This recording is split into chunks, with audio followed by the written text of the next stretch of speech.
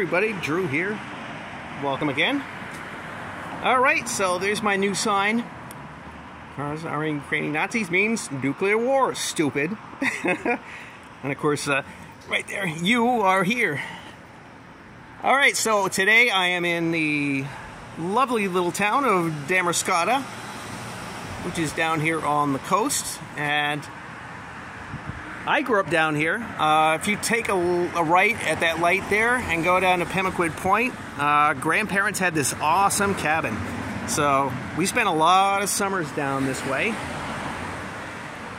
And note there's the Frances Perkins Center, and that is a reference to FDR's labor secretary, uh, which I include here on my required reading list. There you go. Okay, there's my required reading list of important New Deal legislators who worked with Roosevelt to fix our bankrupt country.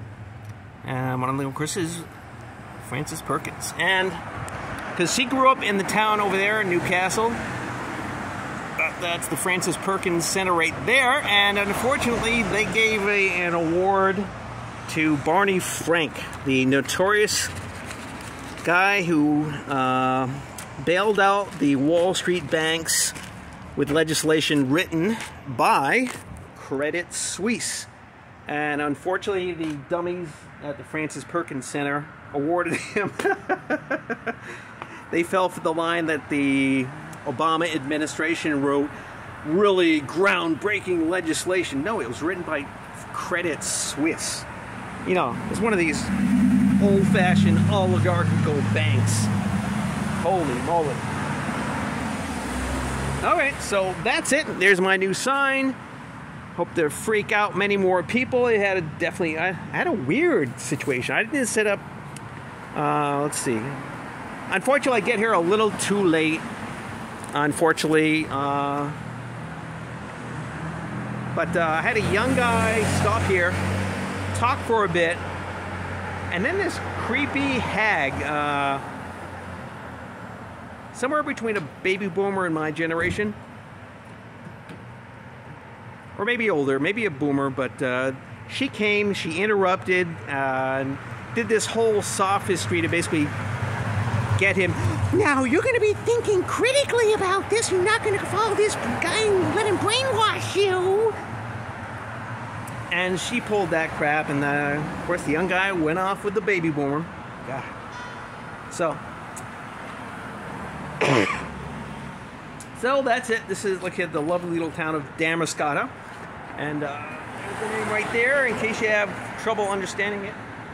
Damariscotta, out here in coastal Maine. So, and they have names like that right there. That's the Skidompha. Public Library.